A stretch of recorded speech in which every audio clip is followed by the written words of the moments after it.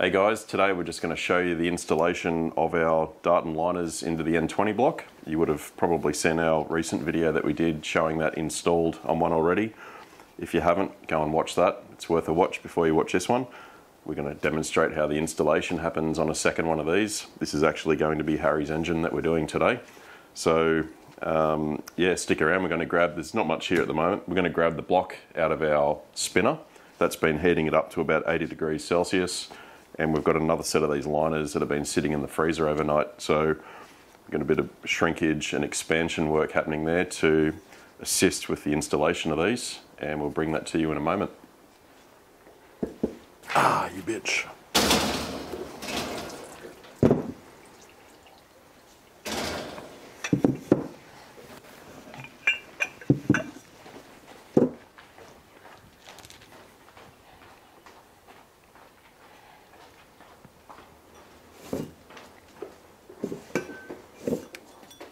Which is the front end, Tony? Cylinder one. Okay.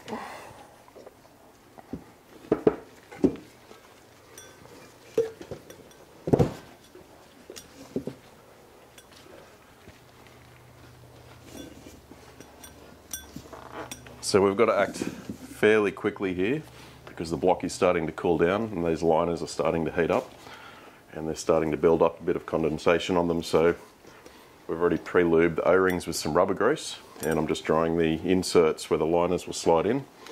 So we have a nice clean contact between the O-rings and the material. I'm just going to apply a bit more rubber grease to the aluminium material in the block here.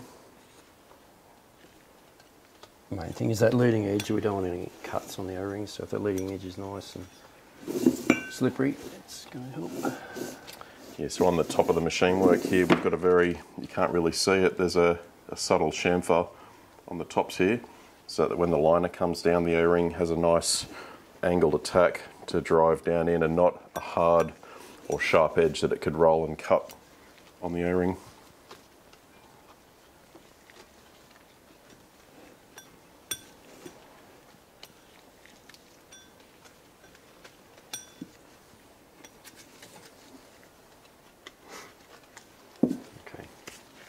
Ready? We're ready. Your liner. Down.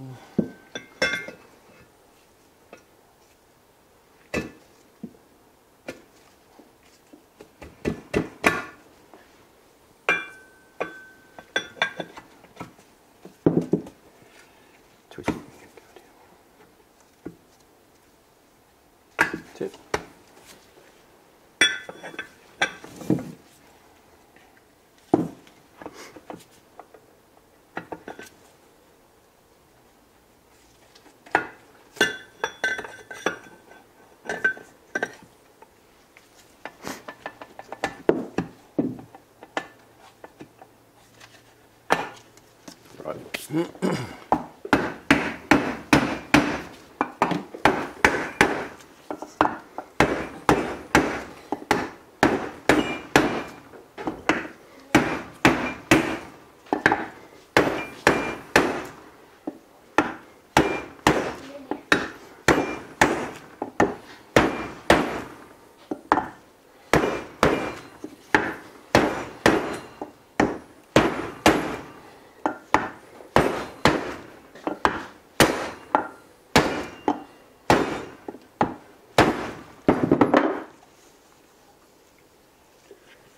So basically, this is another uh, good installation like the other one was.